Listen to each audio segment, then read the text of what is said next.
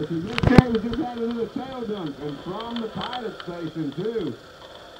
I this young man's name. He's flying for electric uh, something or other out there, and he just dunked his tail in the pond. Good job.